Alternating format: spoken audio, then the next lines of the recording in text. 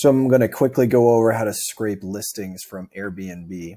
So if we scroll to the bottom here for the pagination and inspect, open this up with inspect element, then click on the fetch XHR requests. If we click next here and get the first one, so it looks like that's the data that we want and we can double check that by searching. So guest house in East Austin. Guest house in East. So it looks like it's right there. So that looks exactly looks like it's exactly what we want. So all we need to do is copy his node fetch. And then I already have it pasted here. So res equals await fetch. And then paste all that stuff in there for you so don't have to worry about that. And then get the JSON by awaiting res.json. And then you have to key into it see the search results with all of this menagerie. So when you run that, then you get like weekly price factor.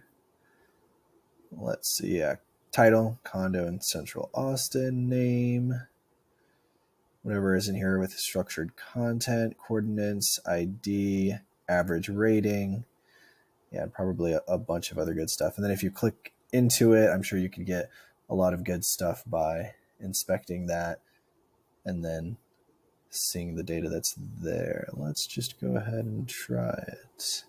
And also the good thing about this site is that it's server rendered, it looks like. So with React, probably using Next. And in that case, a lot of times they return JSON in script tags. So if you can't get a an XHR request, and you can only fetch the HTML. Like for this one would be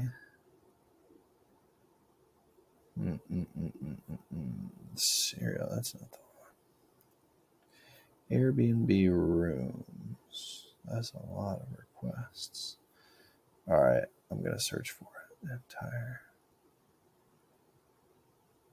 guest house. Freak.